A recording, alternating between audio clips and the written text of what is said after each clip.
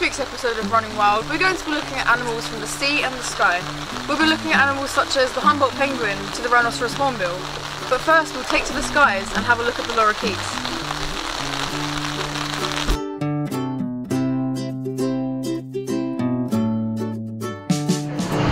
Here I am at the lorikeet enclosure where these beautiful Australian birds are looked after. They're a very special type of parrot due to their unique looks, which makes them distinguishable from other parrots. These birds are native to the Asian Australian region in countries like Polynesia, Timor, and Australia. Lorikeets live in coastal regions where the forest is thicker so they can live among the trees for safety. They live on a diet of mainly nectar and pollen from flowers and will often eat berries and fruits if they really need to. As you can see, these birds are very small and weigh between 75 to 150 grams.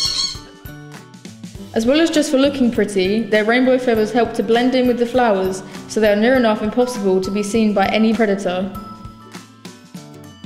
The lorikeet's breeding season is still mysterious to many people who wish to study these birds. They are known to mate during September and December, however there is not much research to support this fact. Once they lay an egg, they will incubate it for 25 days before the chick cracks out of its shell.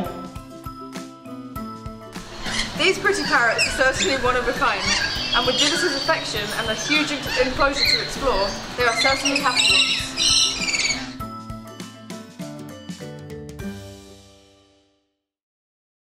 Now let's take a trip back in time to the rhinoceros hornbill.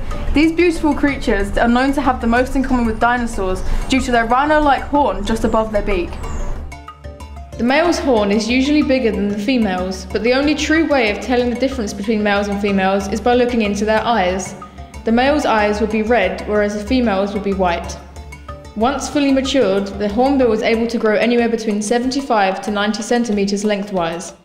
Their wingspan can also reach an outstanding 5 feet, which makes it the biggest bird out of the hornbill family.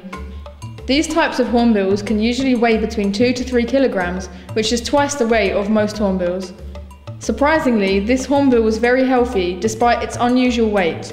Its diet mainly consists of fruits and nuts, but they will also have the occasional meat such as a small rodent, but only if it is really hungry. When the hornbills are ready to mate, the females will lay three or so eggs. Before laying these eggs, they'll have to go out and find a suitable nesting area, preferably in higher trees, where they can hide their youngling.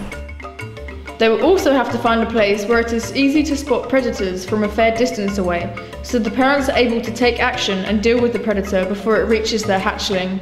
Once the eggs have been laid into the nesting area, it will usually take 39 to 45 days for them to hatch.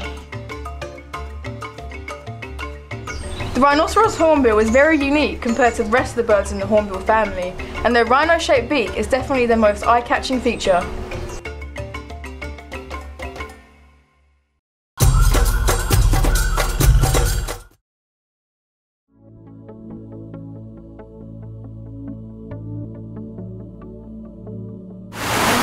For our first animal of the sea, we're here at the penguin enclosure, where we'll be looking at the Humboldt penguins. These beautiful penguins can grow up to 70 centimetres in height and weigh between 3.6 to 5.9 kilograms. Originating from South America, Humboldt penguin colonies are often spotted along the Pacific coast, breeding between Peru and Chile. Unlike other penguins, the Humboldt penguin enjoys a warmer climate and prefers to nest on rocky coasts or burrow in caves where they feel safer. Humboldt penguins live on a diet of small fish and have adapted to having spines on their tongue to ensure grip on their prey. In the water, these penguins can reach a total of 20 miles per hour and have excellent eyesight both in and out of the water. Even though they spend the majority of their time in the sea, the double layer of feathers covering their body keeps the water from reaching their skin. To keep the feathers in good condition, the penguins preen them often and molt for 10 days around August time to get that fresh coat look. It's estimated that there are about 3,000 to 12,000 of these beautiful creatures left in the world, a number which might sound a lot, but really isn't. In fact, the Humboldt penguins are now classed as endangered due to the destruction of the habitat and interruption to the food chain due to fishing. These specific penguins are some of the lucky ones as they are being looked after here in a safe environment at Colchester Zoo. Humboldt penguins usually live for about 20 years, but when kept in captivity, they can survive for 10 more years. This leaves us questioning the, the safety of their current environment. On a more positive note, Humboldt penguins are master hunters and have adapted to their environment in remarkable ways.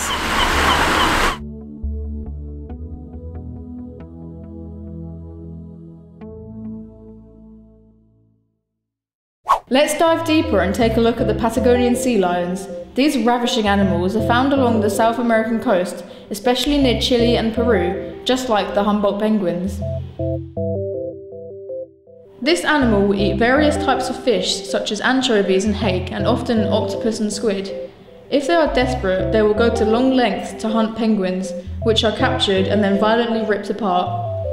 This sea lion will go out for five miles or more offshore to find food, as if they do not go out, they will become prey themselves to killer whales and sharks. They can also reach a depth of 600 feet underwater and can survive without oxygen for 40 minutes.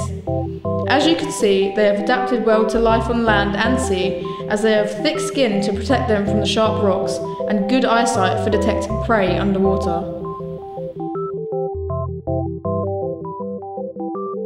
Patagonian sea lions are considered to be called mammals, meaning the females will produce milk and give birth to pups. The mating season for these sea lions is between August and December, and after giving birth they will try to mate again for the offspring, which means they can only care for their young for the first year of their life. The population for the sea lion is about 200,000, which is a quite a low number surprisingly. This number is continuing to drop due to destruction of their habitat and hunting by humans. To put a stop to this issue, Colchester Zoo supports conservation efforts and collects donations towards helping these beautiful creatures.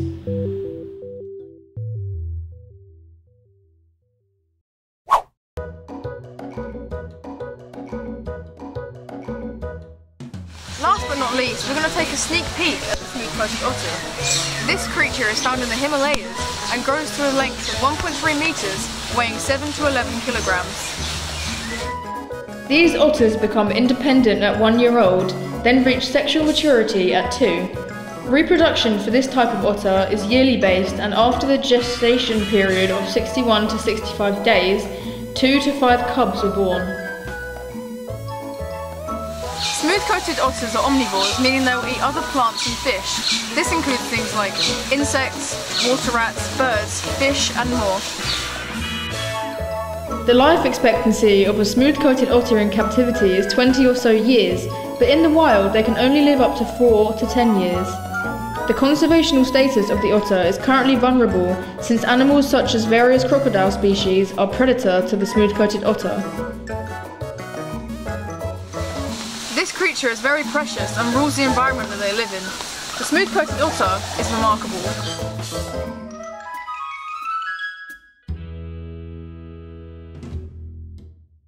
As you can see, these majestic animals are a huge attraction to the zoo, as the way they have adapted continues to amaze visitors.